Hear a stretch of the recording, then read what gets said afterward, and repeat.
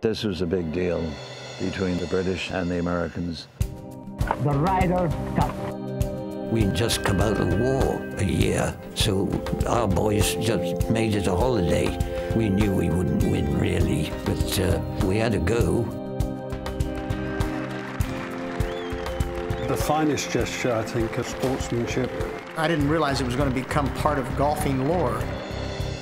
So the Americans come and win virtually every year. And if you're playing a European circuit now, why not bring the Europeans in? We knew we could do it, and we really felt we could defeat the Americans. I just, oh, it's going to take a long time for this to, to sink in. It was just fantastic. 87, that was euphoric. It was very special. It was the first time that uh, we beat uh, the Americans on the American soil.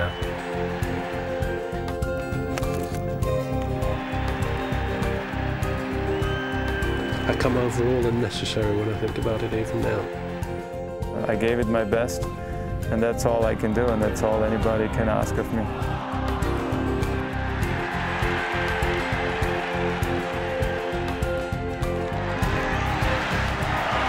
Week was as pressure-packed as any week I've ever spent in professional golf. It was great being captain and being able to be a part of it. I'd like to be captain again.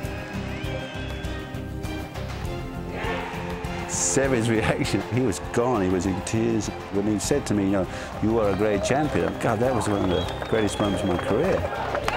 We're going to be back fighting like hell in 1997 in Spain. I was part of a team spirit that I'd never seen the like of. This is one of the uh, great moments of, uh, of my life. I have a good feeling about this. At that point, there was no thought process. I had this putt to win the Ryder Cup. Just that feeling. I wish everybody could experience that feeling. It was really, really special. It's enormous. It's everything you ever wanted in golf. We're all here for one reason. That is to win as a team, to bring back the cup as a team. You had 24 golfers and put so much effort into it, played with pride and passion, played with their hearts. That's when it really just hit me. This was a this was a team, and we became a family. I said, "You have to win this game." he looked at me and went, "Oh, okay."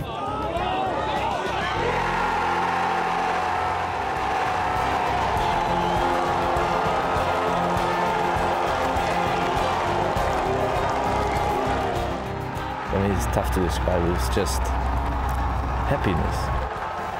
30 years of professional career. That's the best moment of my life.